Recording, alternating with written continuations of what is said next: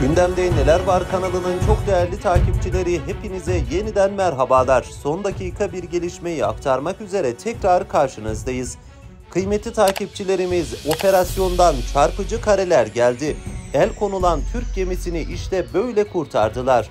Değerli izleyenler, İtalya Savunma Bakanı Guido Crosetto, Türkiye'nin Fransa'ya giden Türk gemisinin kontrolünü ele geçiren kaçak göçmenlerin İtalyan özel kuvvetlerinin operasyonuyla yakalandığını ve operasyonun iyi şekilde bittiğini bildirdi.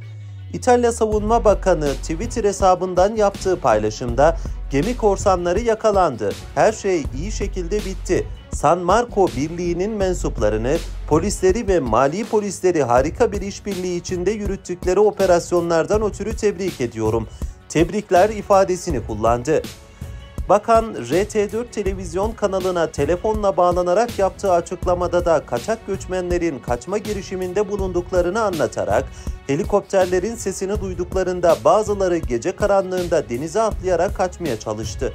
Ama geminin etrafı zaten sarılıydı. Askerler geminin kontrolünü ele almalıydı ve bunu çok kısa sürede yaptılar. Silahlı güçler bu tür durumlar içinde lazımdır yorumunu yaptı. İtalyan ANSA Ajansı'nın haberine göre Türk bayraklı kargo gemisi Garata Seavaisa özel kuvvetlerin ardından çıkan İtalyan mali polisi ve polis ekipleri bir tercüman vasıtasıyla iletişim kurdukları kaçak göçmenlerin kimliklerini belirledi. Gemide bulunan ikisi kadın 15 kaçak arasında Suriye, Afgan ve Irak uyrukluların olduğu kaydedildi.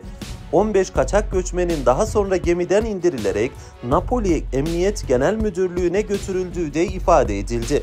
Değerli izleyenler haberimizin sonuna geldik. Bir sonraki haberde buluşmak ümidiyle şimdilik hoşçakalın.